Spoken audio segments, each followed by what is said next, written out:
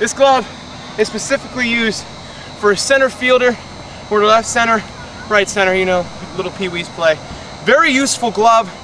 You throw it up, you just catch it like that, just differently. Remember, I just got you, didn't you? You thought that's the way you're supposed to do it. No, no, no, no. Like this.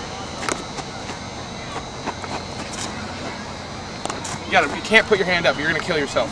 Like, just holding your hand up like that, blood clot in your arm, you'll die instantly.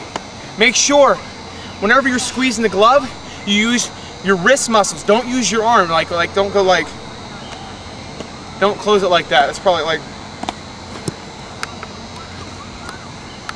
don't do that. That's a bad thing to do. And uh, got another thing I'd like to show you guys. To put that glove down. Not many people use this.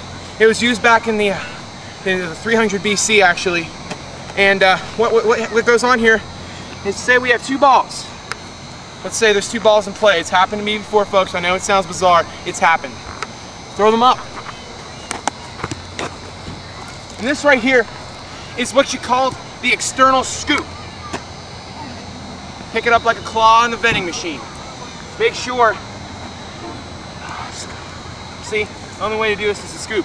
One of the best methods that Mark McGwire has ever used in his lifetime, and I still use it today, is the pop and crop. You jump, throw it up in the air, let it drop and pick them up before it hits the ground. See, like that. Now, just, just like that, just like that. Now, another thing about the gloves, put that one down. This is a center field glove. It has different leather in it. It has leather.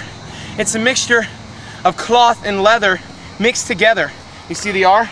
It stands for Ronce. Ronce is a very good used glove company that is very energetic about what they sell. And uh, other thing is falsetto.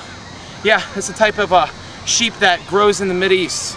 And uh, this sheep is very tolerant to the sun, but unable to produce its fine leathers that it has on the back. Comes out with the falsetto. Very useful glove. Hope you guys can go to, uh, what is it called now? Like Marianne Sports Goods. Buy a glove like this. Just stay tuned for what we have coming up for you next.